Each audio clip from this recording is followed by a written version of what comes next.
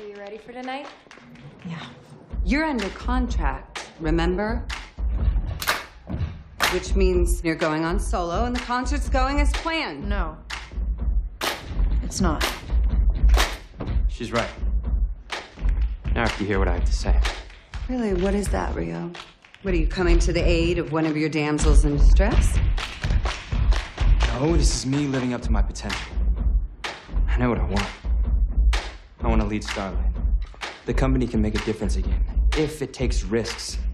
Rio, but you're not ready. Especially after tonight. You'll never be ready. I had a feeling you'd say that. And apparently Dad did too. That's why his will gives me the right to take over the company the day I feel I am ready. Really? Wow. It's not his to give anymore.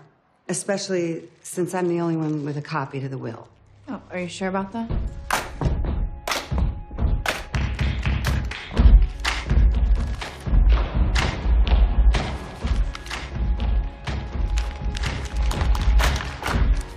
It's over, Mom. I'm taking over the company. Zipper! Gentlemen, remove Miss Raymond from the concert immediately. Zipper! I took you for nothing.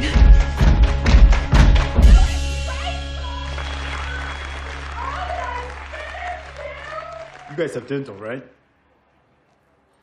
We'll talk about it later. Okay.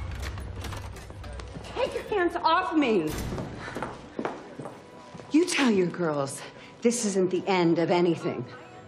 Well, hey, why don't you just look at it as an opportunity to leave this old life behind? Escape that world of dismal mediocrity and decide who you really want to be. Okay,